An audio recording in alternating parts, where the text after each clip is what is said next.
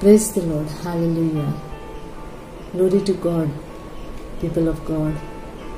Today is another day God has blessed us, and I thank God for that. God is with us, and He said in His word, He will be with us forever. I thank God because He is a provider and He is with us. He is supplying all our needs. And the greatest gift He has given is Jesus Christ. And I thank God for the teaching He is teaching me, rightly dividing the Word of God. 2 Timothy 2.15 Dispensation. When I am using the scriptures, I have to use it as Paul is teaching us to rightly divide the Word of God in a proper way. What is mine, I have to take for me, and what is for the Israel and for others, I have to leave it like that.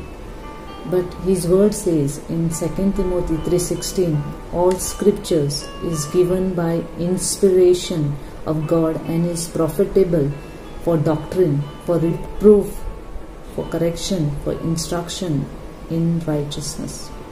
So all scriptures are given by the divine power of God.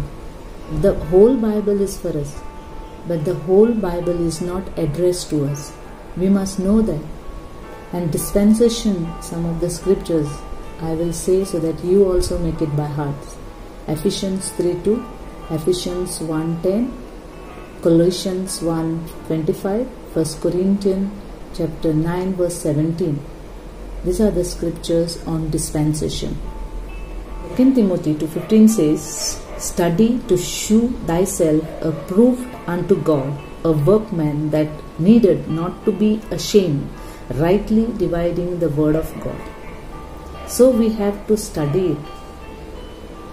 We must know what it is. We must not be ashamed of the word. We must take it seriously. Now, since all these years we were preaching something, I also was doing the same how our now brothers and sisters are still doing that, following that. I used to say all the scriptures which is for the Israel people, I used to confess it on the stage when I used to do praise and worship. Now God has given me this rightly dividing the word of God secret which was hidden, which was hidden from everyone on the earth since God has created this earth. It was hidden from the 12 apostles also.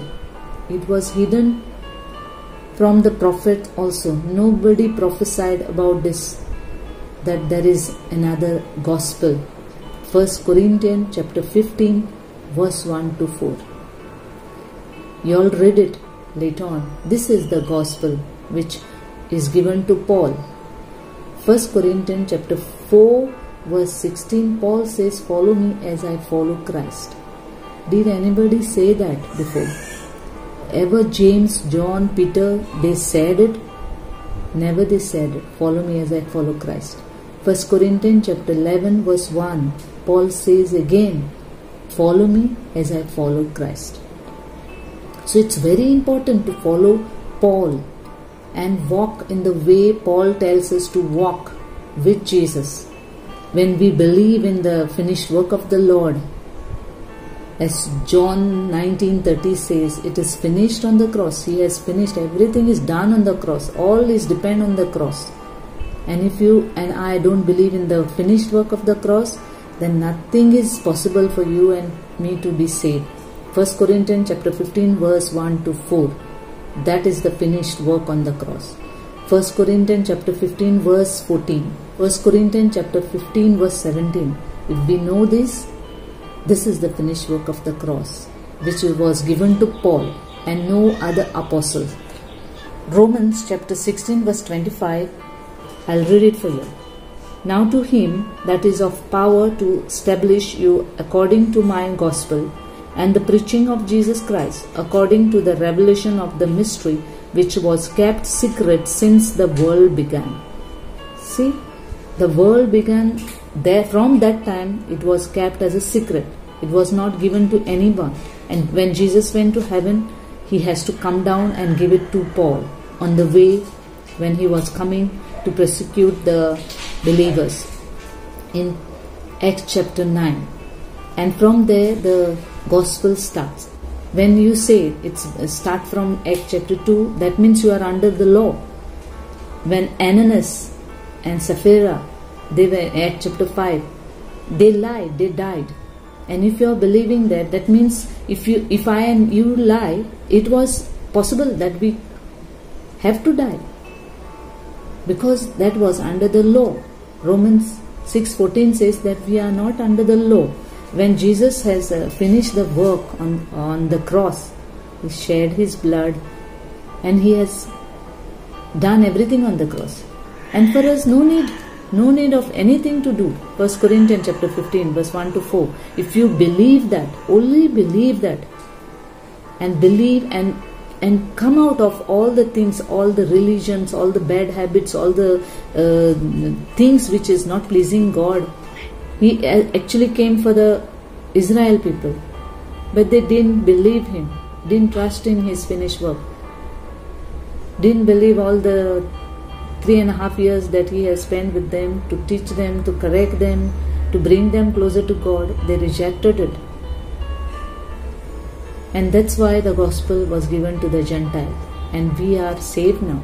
And when you believe in 1 Corinthians chapter 15, then you are saved. I believe that. Then only we are saved. Otherwise, we are not saved. Jesus has come to fulfill the law on the earth. Matthew chapter 5, verse 17. Think not that I come to destroy the law or the prophet. I am not come to destroy, but to fulfill. So he has come to fulfill the law and he, he has done it. There were six, 613 laws. Can I and you obey it? If you say that you believe in the four gospel and you are walking according to that four gospel, then you have to follow so many laws, 613 laws. Uh, it is not possible to follow it. It's so hard.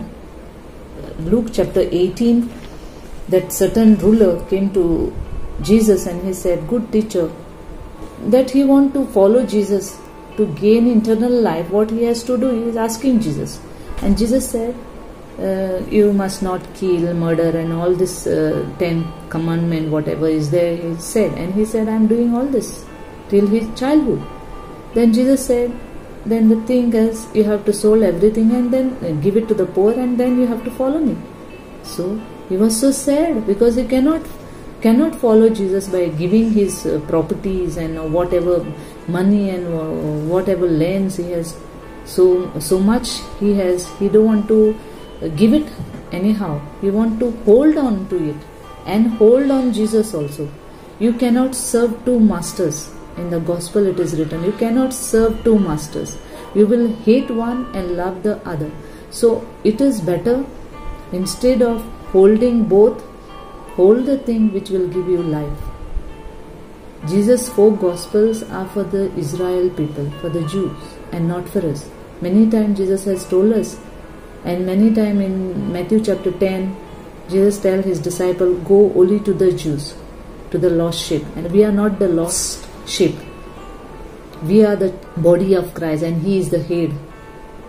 Jesus is the head if you say that you want to follow Jesus, then you have to follow all these things, sold everything, and then follow Jesus. You must not lust after women or men. You must not lie. You have to go and take baptism, which is not needed if you believe in 1 Corinthians chapter 15, verse 1 to 4 and 14 verse 14 and also verse 17 if you believe uh, first corinthians chapter 15 then no need to do all these things. It is finished. Everything is finished on the cross.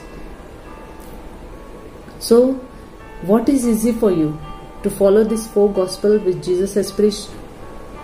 If we can continue with that you sold everything give everything whatever you have and in act chapter 2 44 they used to sell everything and give it to each other, help each other to bring in that group.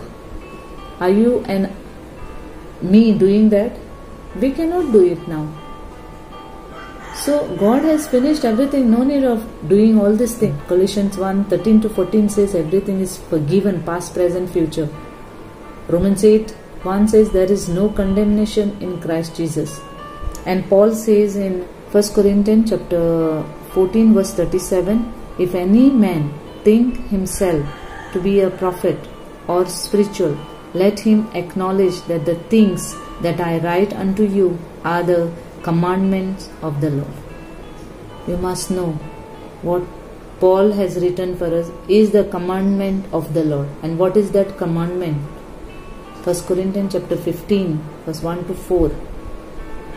Romans 2, Philemon. That is the commandment, that 13 letters. It's written everything in that.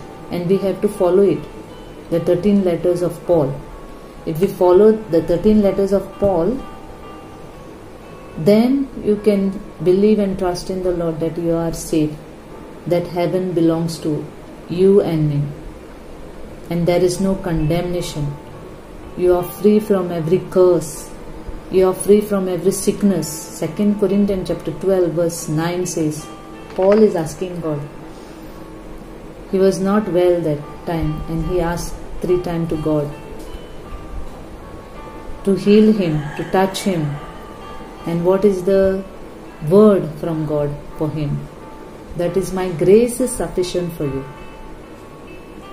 His grace, God's grace is more powerful, more important. His grace is there on our life, then everything is possible to happen for us. With grace, everything is possible. Believe that, people of God. And follow Paul's 13 letters. And as he is guiding us to follow Jesus through Paul, let us follow Paul and follow his gospel, which is very important. Romans chapter 11, verse 13, I'll read to you. For I speak to you, Gentiles, in as much as I am the apostle of the Gentiles, I magnify mine office. Romans chapter 2, verse 16. In the days when God shall judge the secret of men by Jesus Christ according to my gospel. Whose gospel? Paul's gospel. Paul is saying, according to his gospel, we will be judged. Not that four gospels of Jesus Christ. Not according to four gospel of Jesus Christ, we will be judged. It's not that. It's according to Paul's gospel. Romans 2.16. Remember that. All these years, all the preaching has gone well because the uh, preachers i believe they also don't know the paul gospel and that's why they never spoke about it i just decided to speak about it because i also cannot hide in it and keep.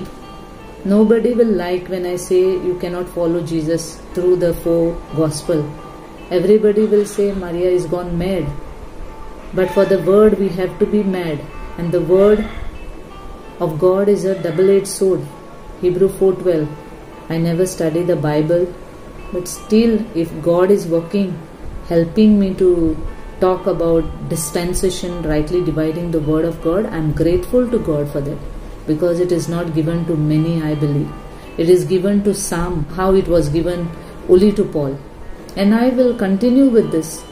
I will speak about this gospel which is hidden. People are under so much law. People are thinking how they can be saved.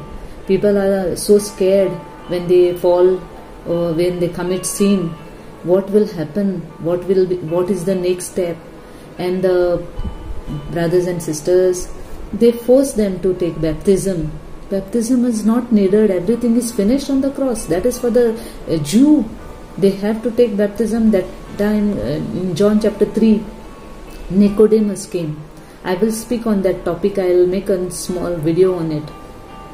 To be born again. No need for us to be born again. We are a new creation in Jesus Christ. He has redeemed us by His blood. And no need for us to do any works. Works will not lead us to heaven. And last time also in that uh, video of mine, I have given some scriptures uh, and I will not read it, it will take long. So write it, note it down because of the works you are not led to heaven. The works will not lead us to heaven, only the grace, only the gospel of Paul. Romans chapter 2 verse 16, 1 Corinthians chapter 15 verse 1 to 4. If you believe that and continue following Paul uh, to, uh, to reach to Jesus by his commandment that we are judged, that means we have to follow Paul and go to Jesus. Otherwise, there is no other way because of your work and whatever good thing now in COVID 19 you are helping others, taking videos, putting on the website and on the media and showing people that you have done a great job, it will not bless you. It will not open the door of heaven for you. It will be closed. Your sins are not covered with this, doing this. Sins are not washed away. It is washed away only because of the blood of Jesus. And He has done that finished work on the cross and by believing the gospel 1 corinthians chapter 15 only then you are forgiven if you know that finished work of the cross he shed his blood he was buried he was in the grave for 3 days he is risen and he is with us and we have to do nothing for his work and that uh, these are the scriptures which uh, works will not help us to go to heaven only the grace only the finished work of the Lord Jesus Christ. He has done for us. With Paul's gospel, we can follow Jesus. Paul is leading us. Paul is telling us there is no need to do any work. And I'll give you some scriptures of it. Ephesians 2, chapter 2, verse 8 and 9. Titus 3 5. Romans chapter 11, verse 6. Romans chapter 5, verse 1. Colossians 2, verse 13. These are the scriptures. Thank you, Lord, for this uh, small video, for this small word of yours, Lord. I believe all glory belongs to you, Lord. Thank you for this time, Master. In Jesus' most holy name I pray. Amen. Thank you for listening to me. This is the message today.